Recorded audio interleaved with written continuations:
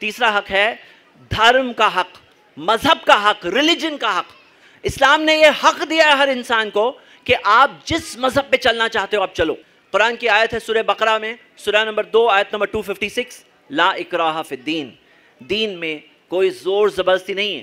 اسلام میں یہ الاؤڈ ہی نہیں ہے، یہ چیز کی اجازت ہی نہیں ہے کہ کسی کو پکڑ کر کے اس پہ زبردستی کی جائے، تلوار رکھ کے کہا جائے، اسلام قبول کرو یا اسلام دھرم پہ آ جاؤ، کسی بھی طرح کی زبردستی، چاہے مالی طور پہ زبردستی کی جائے، چاہے اس کے حالات کا فائدہ اٹھا کر کے زبردستی کی جائے، کسی بھی طرح کی زبردستی کی اجازت نہیں ہے۔ لا اکراہ فی الدین، دین کے معاملے میں کوئی زور زبردستی نہیں ہے۔ قد تبین الرشد من الغی، کیونکہ صحیح اور غلط تو واضح ہے۔